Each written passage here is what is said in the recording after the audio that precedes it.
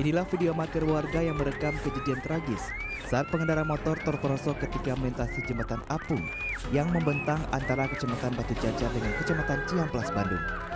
Dalam rekaman nampak jembatan tiba-tiba patah saat dilintasi kendaraan bermotor. Akibatnya sejumlah kendaraan bermotor pun terperosok ke sungai dan sempat membuat panik pengendara. Dugaan sementara ambruknya jembatan karena beban yang berat akibat dilalui dua jalur kendaraan bermotor sehingga kayu penopang tidak kuat saat dilintasi. Sebelumnya pemilik jembatan Apung Jambalas memastikan bahwa jembatan tersebut aman untuk dilalui kendaraan dan secara berkala terus mengecek kondisi jembatan. Di mana saat ada kerusakan pihaknya langsung bertindak memperbaiki jembatan.